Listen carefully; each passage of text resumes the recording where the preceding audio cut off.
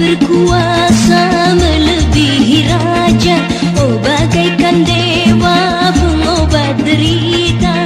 Banyak manusia harta dipujanya. Seakan Tuhannya di dalam dunia. Sesungguhnya harta pembawa musibah.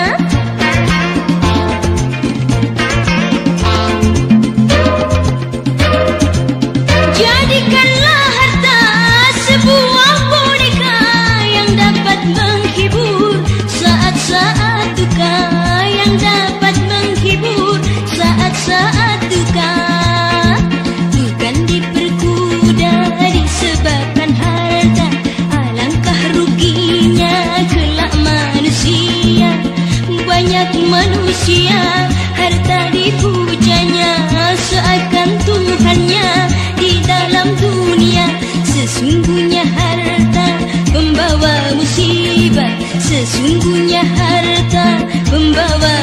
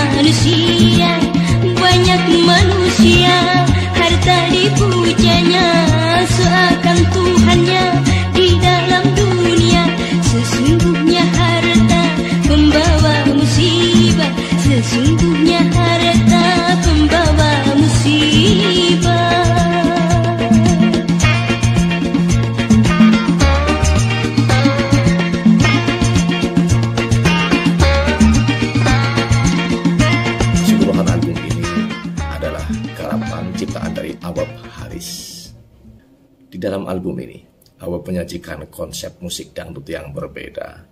Dangdut menghadapi harta, bagaimana kita harus bersikap kepada harta.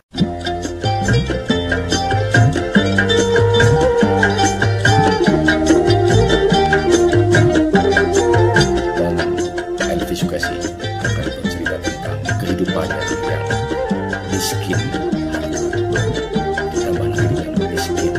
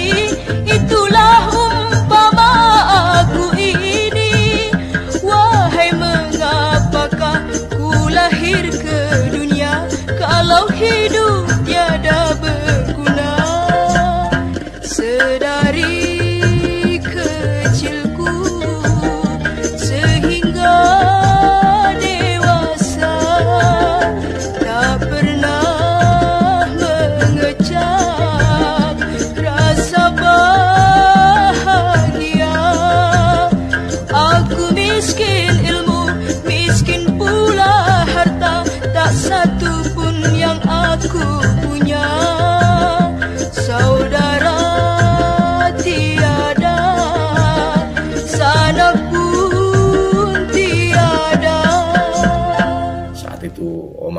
Sudah banyak bicara tentang kehidupan, tentang sosial, tentang dunia, tentang harta.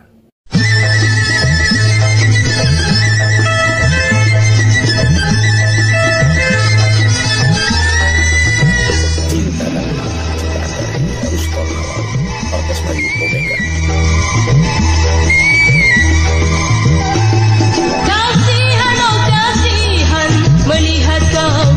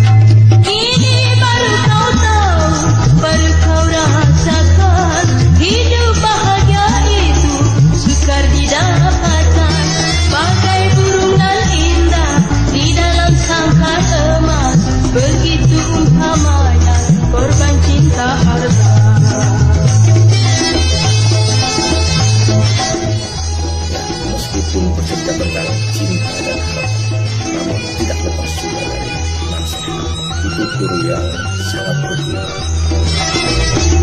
Dulu bagaikan bintang